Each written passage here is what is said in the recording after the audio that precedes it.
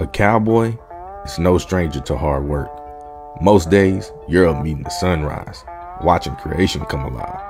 And some days, you watch the sun go down and rejoice at the fact you've been blessed to have seen another day.